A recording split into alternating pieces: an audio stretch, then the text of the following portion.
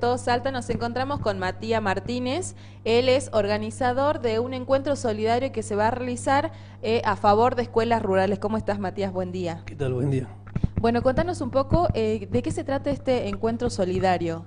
Este es el cuarto año del encuentro Sendero Gaucho Solidario. Eh, estamos haciendo donaciones a tres escuelitas rurales. Sí. ¿sí?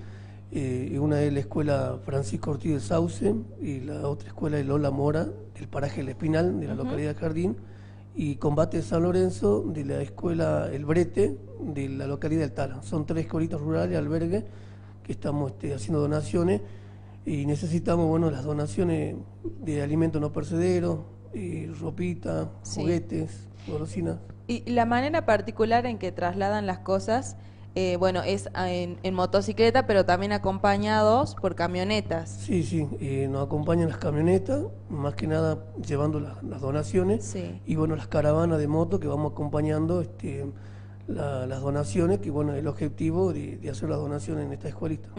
Las personas que quieran colaborar con ustedes, ¿a dónde pueden dirigirse? Virgilio Tedino 1115, entre Paraguay y Chile, hay un taller de moto, ahí estamos recibiendo las donaciones de, mercadería y nosotros estamos pidiendo al público en general que, colabore con este evento, ya que el cuarto año y tenemos tres escuelitas rurales.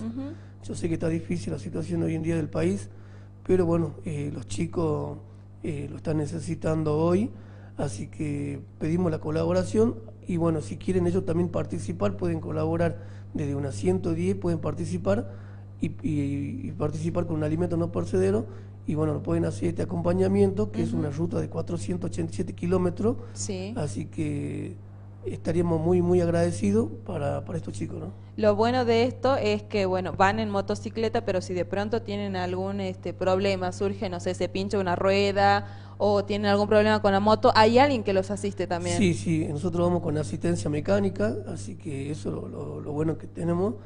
Así que no hay que tenerle miedo, muy lindo camino, muy lindo circuito y, bueno, eh, la idea es colaborar, participar y bueno, eh, conocer lo que es el paisaje ese del Sendero Gaucho y bueno, son tres escuelitas rurales que aproximadamente son casi 130 chicos más o menos. Bueno, nuevamente recordanos el lugar a donde pueden ir a colaborar. Virgilio Tedín 1115, entre Paraguay y Chile, hay un taller de moto y ahí en horario comercial están recibiendo las donaciones de mercadería. Bueno, muchísimas gracias Martín. Y ojalá que todas las personas que siguen Todo Salta puedan colaborar y recuerden que pueden hacerlo en Virgilio Tedín, es un lugar eh, donde arreglan motos. Sí, un taller de motos. Un taller de motos, así que ya saben toda la información, seguramente vamos a estar ampliando más información en Todo Salta.